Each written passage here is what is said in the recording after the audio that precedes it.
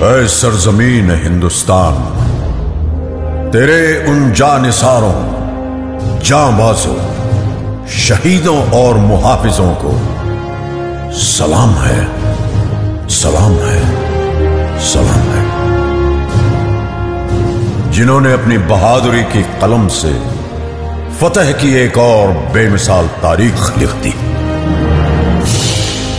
गवाह है आज भी कारगिल की वो बुलंद चोटियाँ, जिनको तुमने अपने लहू से सींच कर तिरंगे की आन बान और शान को रोशन कर दिया।